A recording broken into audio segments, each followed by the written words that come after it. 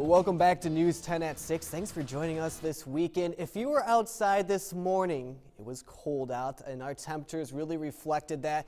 Uh, our morning low this morning was 39, so all the talk today was just how cold it was this morning. And matter of fact, 39 was actually a record broken here in Terre Haute. The last previous record was 41 degrees back in 2002. So that just shows how cold it was. It didn't really feel like May. Like I said earlier, kind of felt more like March. But if you're outside today, if you just kind of bundled up a little bit, not all that bad of a day. Uh, we strayed away from most of the rain showers. There was a few sprinkles that were passing through the region. That's uh, mainly due to an upper level disturbance that's pushing off to the east with this colder air. So uh, we do have a high pressure that's just hanging right through central Illinois. This is slowly going to shift off to the east, and as it does that, it's going to bring up a nice south flow, which means some warmer temperatures are in store for us as we head through uh, the next few days.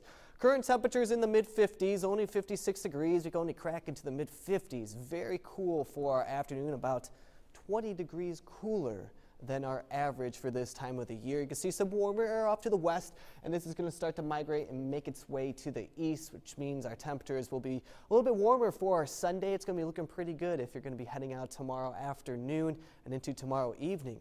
So let's jump into the futurecast and uh, let's see what happens to that rain because it's actually pretty good news. We're going to see most of that head off to the east over the next few hours and uh, really opening up by tomorrow morning. So look at this. By 8 a.m. tomorrow morning, heading out tomorrow, it's going to be very nice. We should see some drier conditions, which means more sunshine in store for us for our Sunday and with it being drier, it's also going to warm up a little bit. So here's uh, your day planner for tomorrow afternoon. Let's see if I can help you uh, with your day. It will be right around 65 degrees by 1 p.m. And like I said, the sunshine will be out there, so not too bad. We'll be warming up into the mid to upper 60s come tomorrow afternoon. As we jump back into the future cast is by 7 p.m. tomorrow. So as we get through today, get through the overnight, get through tomorrow morning, we're back at it right around 7 p.m. here on the future cast. Put that into motion. Nothing to really worry about. It's going to be looking pretty dry.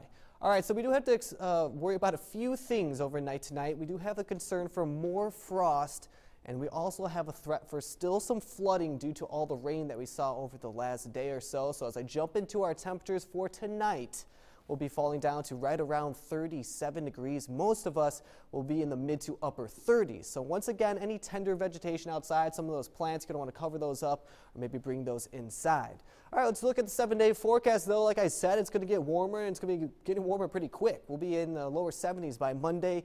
By Tuesday and into Wednesday, though, how about this? Back into the 80s, but we will be discussing another chance for rain come Wednesday and into Thursday. Jacqueline?